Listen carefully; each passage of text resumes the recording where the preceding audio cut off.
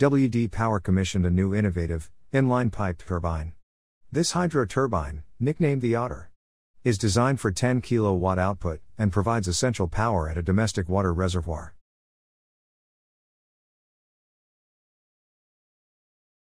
The water pressure is used to open the turbine inlet valve.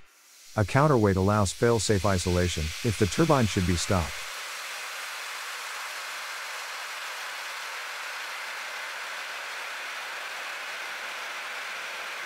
The control panel is providing the required load management to control voltage, as this unit is not grid connected.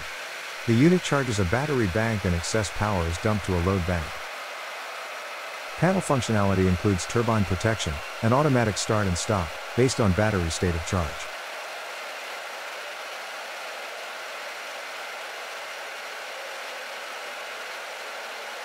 This turbine design is based on a sealed unit, with water bearings and a wet squirrel cage rotor.